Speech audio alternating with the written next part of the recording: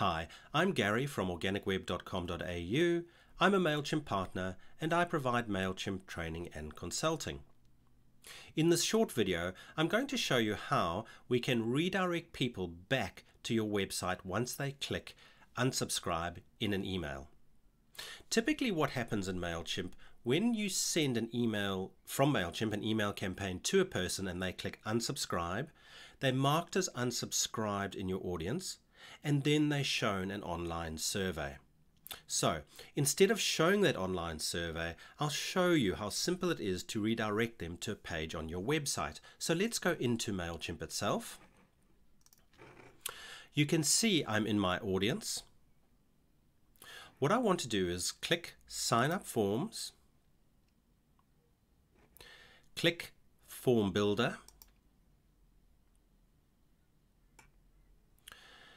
Under Forms and Response Emails, click the selector and click Unsubscribe Success page. And now all we need to do is paste in the URL where it says instead of showing this unsubscribe successful page, send subscribers to another URL. Just type in or paste the URL you want people to go to instead of seeing the survey and click save. I have created a separate video where I show how to style this form if you do want to keep using this form. But thank you for joining me. My name is Gary from organicweb.com.au.